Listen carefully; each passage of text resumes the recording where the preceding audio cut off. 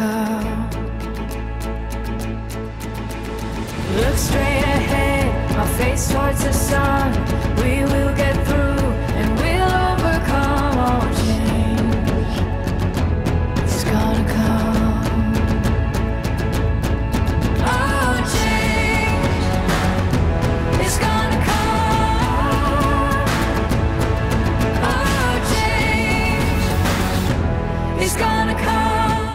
Hey, I'm Hans Hess. Thanks for watching my television program. Such a blessing, such an honor to come to you and preach the Word of God. I have a fire in my heart to win as many people to Jesus as I can before I leave here. I feel like the house is on fire and I'm trying to rescue folks out of the fire.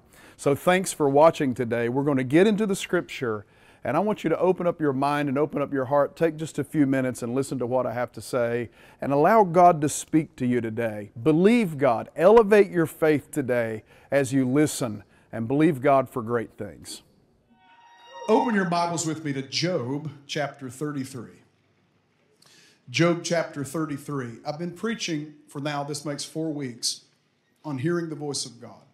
And I was going to just finish this last week, but I thought there's one more thing I want to deal with, and I've never really preached on it as a, a, a sole subject, okay?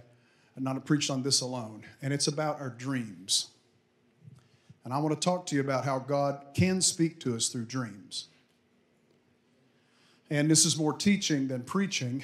And uh, years ago, I was in a lecture by a great New Testament Greek scholar named Gordon Fee, and he gave the definition. Well, he gave the difference between preaching and teaching. You know what it is, don't you? It's just the level of volume you speak at. So, you know, anyhow. Job 33, verse 15. Listen, this is a profound passage. This is a profound passage if you've never seen this before. Job 33, verse, thir- verse 15. For God may speak in one way or in another, yet man does not perceive it. In a dream, in a vision of the night, when deep sleep falls upon men while slumbering on their beds, then he opens the ears of men and seals their instruction in order, here's the purpose, in order to turn man from his deed and conceal pride from man.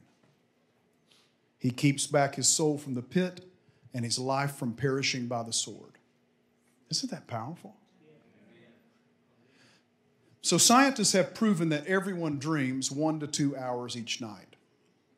This occurs during a certain period of sleep known as alpha level sleep, which is light sleep. And alpha level sleep is where one has what is called REM or rapid eye movement. So, rapid eye movement is exactly what it sounds like. The eyes of the dreamer begin moving rapidly, and he is actually watching the scenes in the dream, and thus his eyes are literally moving back and forth, observing the action. By observing the alpha level sleep when rapid eye movement occurs, researchers in sleep laboratories have determined when a person is dreaming and how much time on average is spent each night dreaming. So, dream comes in cycles, or, or sleep rather comes in cycles. So, at the close of your first 90 minutes or so of sleep cycle, the individual returns to this alpha level where he has a short five minute dream period. Then the next time he cycles up to alpha, he has an, a more extended, maybe 10 minute dream period. And the third time he cycles back to alpha, the dream period is even greater, maybe 15 minutes or so. So if one sleeps a full eight hours, the entire last hour is essentially spent in alpha level dream sleep. Thus, a person who sleeps average of eight hours a night will dream maybe one to two hours of that time. And so they've discovered if they awaken a person during the, RE, during the time when REM begins, preventing that person from dreaming, about three nights of this, the individual starts to show signs of having a nervous breakdown. Because clearly, dreams are an inner release mechanism that helps provide us with emotional balance and maintain our sanity. Dreams can be considered guardians of our mental and emotional state. And So dreams are often the brain working out issues and processing things that you're dealing with in life. So, you know, I have friends who kind of believe God is speaking to us all the time in dreams. Uh, I could be wrong, but I'm not one of those.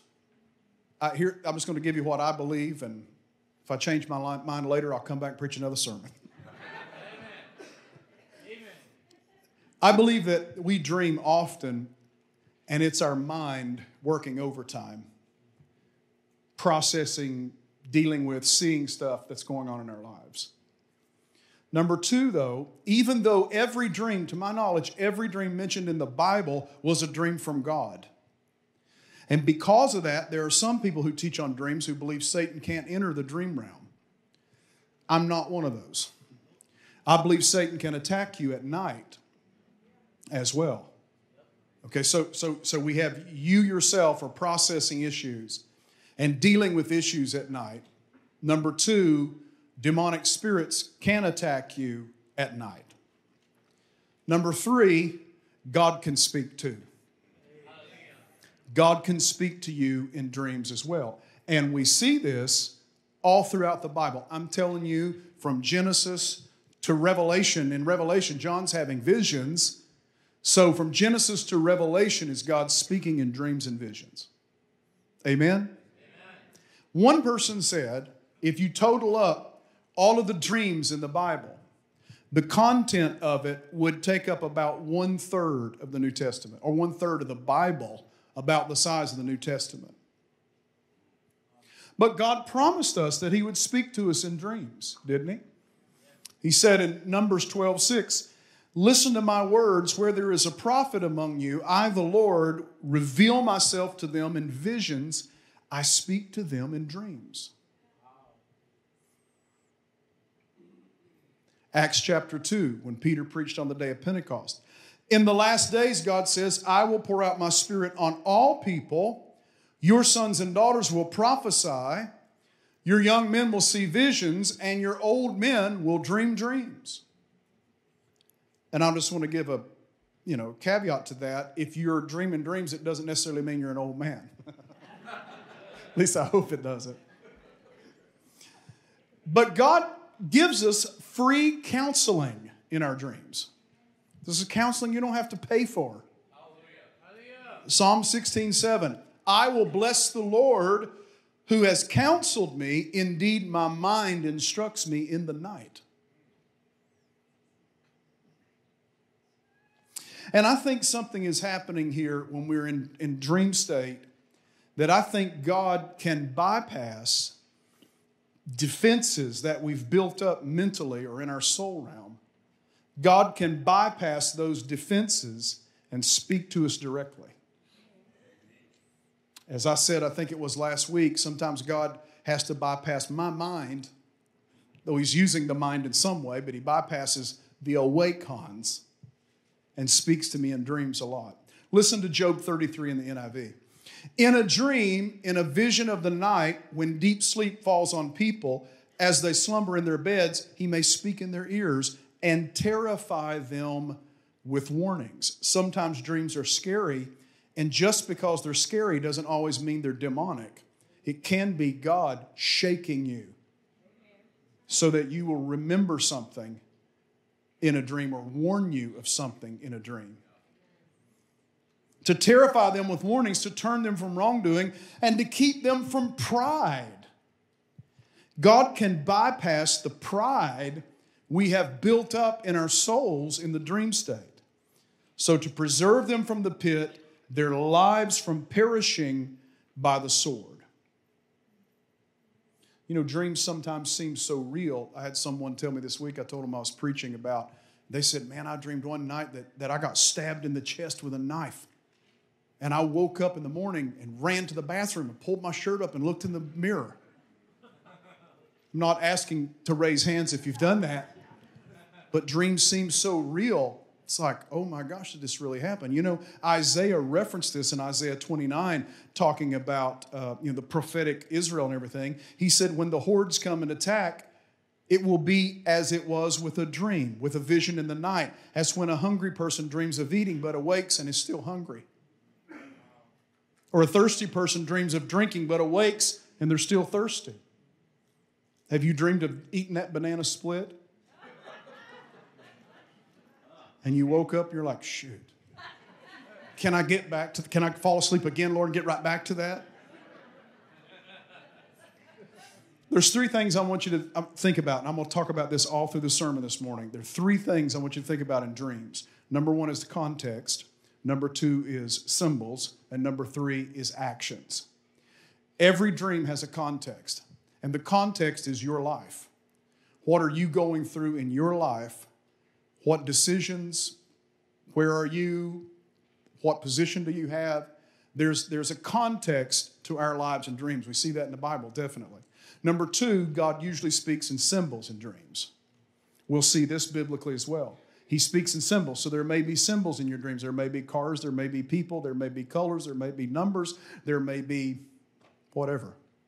And then finally, there are actions in dreams. Some key action or actions are happening. And I want you to start thinking about this as you dream. All right? Everybody good? I'm going to give you three purposes of dreams this morning. Three purposes of dreams. Number one, dreams come to encourage. God can speak encouragement through our dreams. In the Bible, in the book of Genesis, chapter 37, there's a man named Jacob. He has 12 sons. His second to youngest son is named Joseph. And Joseph was his favorite. He kind of paid more attention to Joseph. He loved him. He even made him a special coat, unlike the rest of the, the boys. And his brothers despised him for this because he was the favorite. So Joseph had two dreams back to back. In one dream, he saw 11 sheaves in a field standing up and bowing to his sheaf. Then he had another dream where he saw 11 stars in the heaven making obeisance, the Bible says, like aligning and reverencing him, and even the sun and moon reverencing him. So let's get the context. The context was he was hated by his brothers, favorite son of his dad. The symbols are sheaves and stars and sun and moon. And the action was they were all bowing to him. So what did, what did Joseph do? He went and told everyone his dreams. Big mistake, right? He went and told everyone his dreams, and so his brothers just hated him all the more. And then one day his dad sent him out in the field to check on his brothers. And, by the, and when he got there, his brothers saw him coming from afar, and they said, Here comes the dreamer. They hated him and despised him for his dreams. And so, what happened when he came to them, they were talking of killing him. And you know, he can hear this. So, one brother talks him out of actually killing him, and so they take his coat off of him. They kill an animal and rub the blood on his coat, go back and tell the dad that he had been mauled by wild animals and killed, and they throw him in a pit. And then these slave traders come along and they sell him into slavery. He's sold into slavery. He's bought by a, an Egyptian official named Potiphar. He becomes great in Potiphar's house, but then Potiphar's wife was lusting after him. She tried to pull him in bed with her. He was a man of integrity. He wouldn't do it. So he ran away, but she ripped off his outer garment as he was running away. And then she cries out, Look, this man tried to rape me. And because of that, he was thrown in prison. Then he's in prison and he, he, he becomes the head guy. He becomes like the, the main man in the prison. And then he meets a butler, a royal butler, and a royal baker. And they have dreams, and he interprets both of their dreams. The baker gets his head taken off. The butler returns to service under the Pharaoh, and he's forgotten about in prison. So he's been betrayed or forgotten about or in a bad predicament over and over and over. And I thought, why is this? Why did God give him those dreams? Why did God give him the dream about the sheaves in the field? Why did God give him the dreams about the stars and the sun and moon? I think number one, God gave them to him to encourage him. Why? Because maybe, just maybe, when he was betrayed by his brothers, he's in the pit all alone, thinking about hearing his brothers conspiring to kill him. And maybe he thought back to the dreams. God, there's a purpose for me. And you're going to bring this around for your good somehow. I remember the dreams I had. Maybe when he was betrayed by Potiphar's wife and was placed in prison, maybe on the, on the first days there, he's thinking back, God, why did I have those dreams? Something good's got to come out of this. And it encouraged him. Then when he was forgotten about by the butler and baker, maybe he's thinking that again. God, here I am. And these guys, uh, the one guy went back to the Pharaoh, and I'm forgotten here. But I know you gave me some dreams. And I know they're significant, Lord. And it encouraged him in his walk. Another, another issue that we see in, in dreams is often a prophetic glimpse of what's to come in the future. And I think by the end of this whole scenario, when his brothers actually did come back and, and he revealed himself to them, then the dreams were absolutely fulfilled to perfection. Not only did they encourage him, but they came, there was a prophetic glimpse happening in them. How many knows dreams encourage you? The book of Judges, chapter 7. Gideon and his men are getting ready to attack the Midianites, and they're kind of fearful. They see the Midianites all scattered out. And Gideon walks into his own camp one night, and he hears a man telling his friend, Hey, I had a dream. A round loaf of barley bread came tumbling into the Midianite camp and it struck the tent with such force that the tent overturned and collapsed. As soon as Gideon heard that, he was like, We've got this battle. He knew what's the context? They're getting ready to attack the Midianites. What's the symbol? The symbol was the barley loaf. What's the action? The barley loaf destroyed the Midianite camp. He knew God was giving him the victory. And sure enough, God instantly gave him the victory the next day. Oh, hallelujah.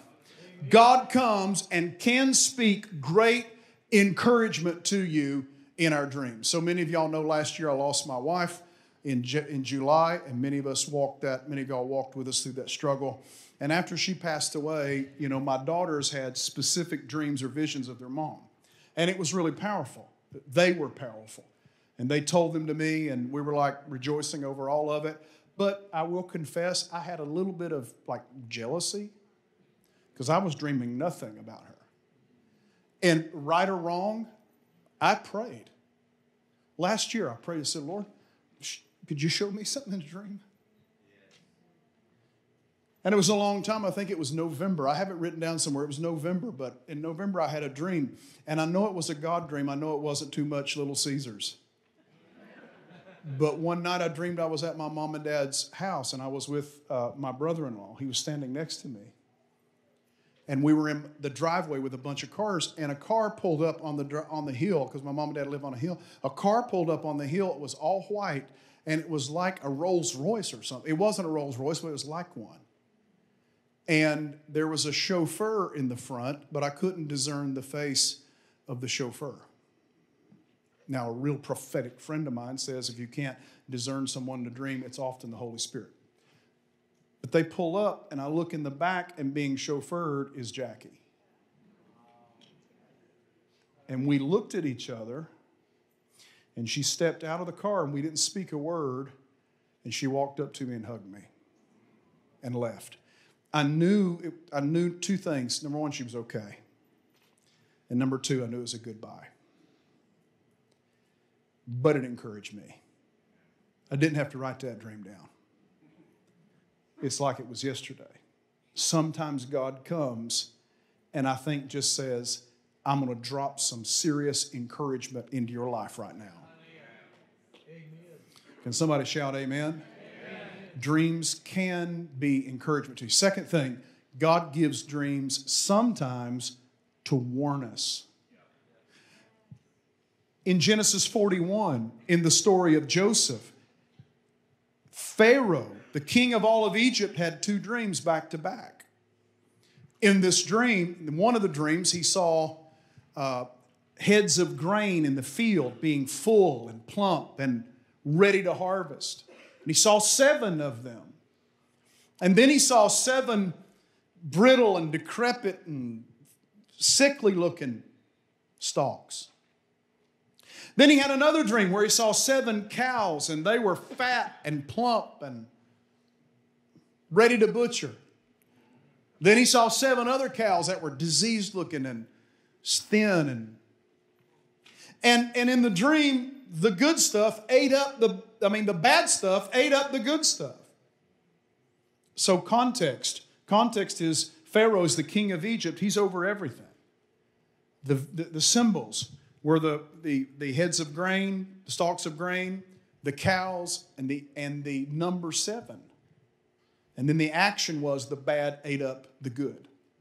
So he's there. Who can interpret my dream? And the butler remembered, oh, there's this guy in prison named Joseph, and God gives him the interpretation of dreams. So they called Joseph out, and Joseph interpreted it for him. He said, Pharaoh, here's what's happening. You're going to have seven plenteous years. There are going to be seven years that you're going to have a great harvest and cattle and everything's going to be great. But then following that, seven bad years or seven years of drought and famine are going to follow. So you better get things in order.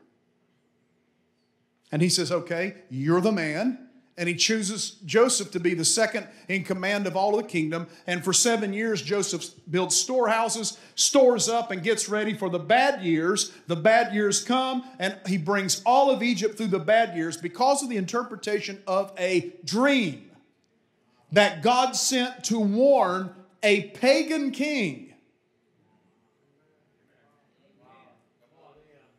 And that's just one level of interpretation. On another level, God is preserving his covenant people. That's why Joseph was in the place he was in at the time. That will preach.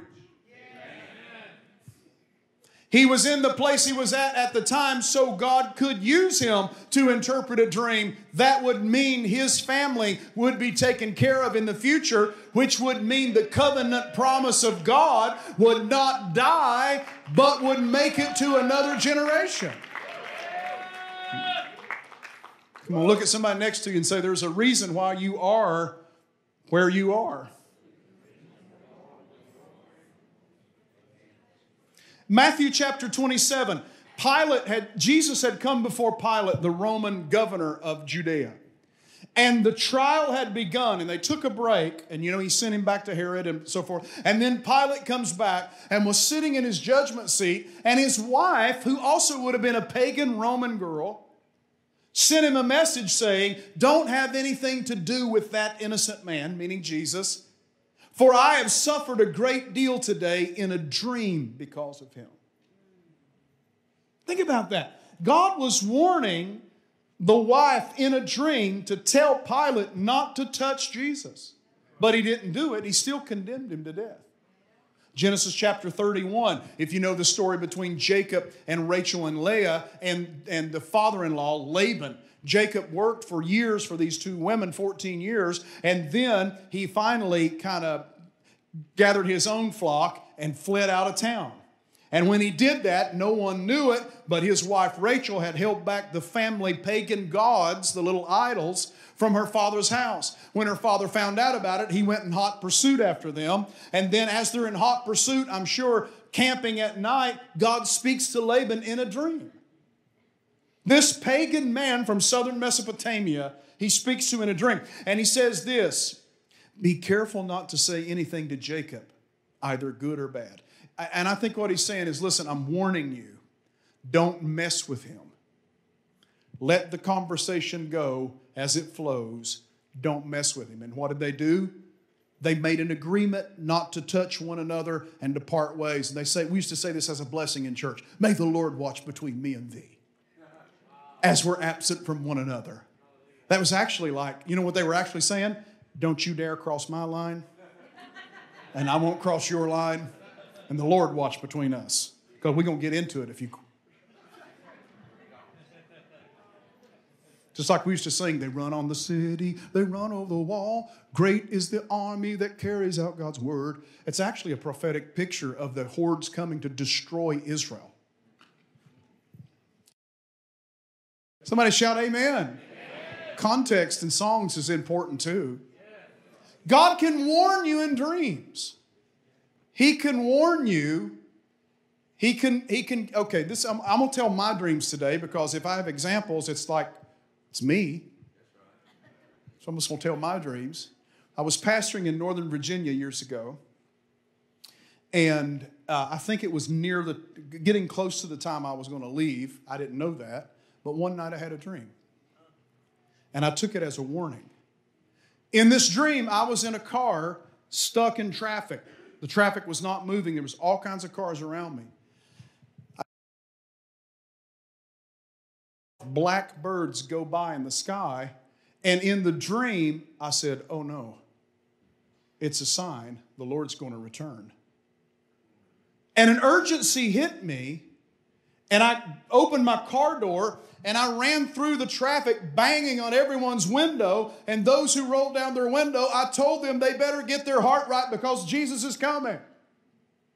And as I was doing that, I looked, and in the sky, it was like the credits at the end of a movie that started rolling upwards. And at first, I saw the crown, the crown on his head. Then I saw the face of Jesus. And then the rest of him appeared, and the Lord was returning. It's the way it appeared to me in a dream. The way it appeared to me in a dream. Praise God. Thank you for listening today, and thank you for opening up your heart to hear the Word of God. Listen, I want to pray for you quickly before we go off the air here. If you have any needs in your life, or if you've never accepted Christ into your heart, I really want to see you make it to heaven. I want to see you finish this race well. Amen. God has provided the greatest gift of all history. That is, He gave us His Son that who would die for us so that we wouldn't have to face eternity without God. So if you've never accepted Christ into your heart, let's start there today. Then I'm going to pray for healing and other needs in your life. So just pray this with me. Father, I accept Jesus Christ as my Savior. Forgive me of all sin and become the Lord of my life, Lord Jesus. In your name, I pray. Now I'm going to pray for your needs. Father, in the name of Jesus, for those who are struggling in their bodies, struggling in their minds, Lord, I pray that you minister to them right now. I pray that you touch them by the power of your Holy Spirit. We bind every demonic influence in their life that's attacking them and we cast it out and we just declare the glory of God and victory of God in their hearts right now in the name of Jesus. Be set free by the power of God. Hallelujah. Thank you. Thank you for watching us. Go in victory and give God the praise. Gonna come. Look straight ahead, face towards the sun. We will